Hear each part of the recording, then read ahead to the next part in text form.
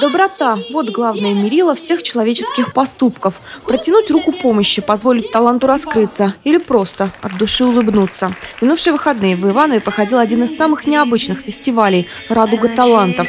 На сцене с творческими номерами ребята с ограниченными возможностями здоровья. Кто-то вполне может выступать самостоятельно, кому-то перед сотнями зрительских глаз не обойтись без поддержки. Эти дети, они добрые, они тянутся, когда они не то что замечания делают, делаешь. А когда спокойно объясняешь, из-за этого они воспринимают все это хорошо, понимают. А кричать на них, мне кажется, нет смысла на таких детишек, потому что можно потеряться, можно забыть движение, можно растеряться. Танец дождя трогательный и завораживающий, как символ того, что даже жизненные невзгоды не повод унывать и опускать руки. Елена Юферова на мероприятии не только в качестве чиновника, она еще и педагог Центра детского творчества «Танцы плюс». Номер создан совместно с ребятами с клуба молодых инвалидов и их родителей «Грани». Мы давно работаем с ребятами с ограниченными возможностями. Каждый раз стараемся подготовить что-то новое на этот фестиваль.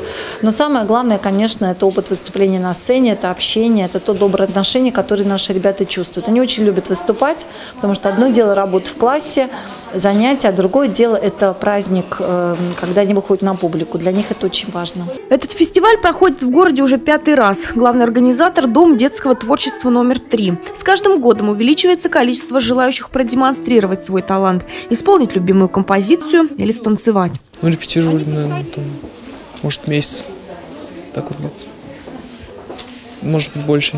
Я не помню, я не помню тоже, сколько мы репетировали. Ну, ну, в принципе, все получилось. Мы с этим выступали на, в тексте на День инвалида. В этом году в фестивале приняли участие около 100 человек. Тем, кто не открыл в себе артистических талантов, была предоставлена возможность проявить себя в рукоделии. Для каждого таланта нашелся свой поклонник. Елена Белова, Андрей Семиволков, РТВ Иванова.